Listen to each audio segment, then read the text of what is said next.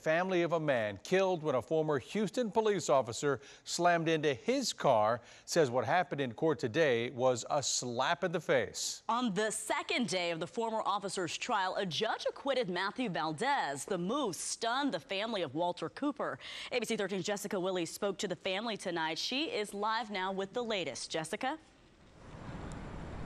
Yeah, former Houston police officer Matthew Valdez found not guilty here at the courthouse this afternoon in what's called a directed verdict, a decision made by the judge well before the jury gets the case. I'm told they are rare.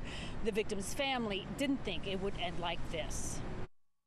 It's totally a slap in the face to be quite honest. The children of Walter Cooper reacting to the day's developments in court. What type of message, you know, is actually been being sent to the law enforcement um, officers that are policing these areas. Houston police officer Matthew Valdez on trial for criminally negligent homicide. It is unfortunate. Uh, Accused uh, of killing Cooper in late 2020 as the officer was speeding to a weapons disturbance on Ley Road. Surveillance video from a gas station capturing the violent crash.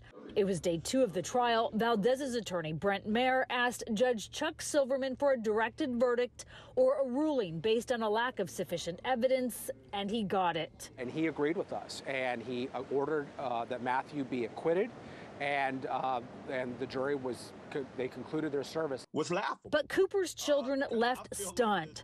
Their father, a military veteran who had just lost his wife of 51 years, had more life to live. The officer was traveling 90 when the speed limit was 35. He had not activated his lights and sirens. The DA's office said they thought it was an important case to prosecute.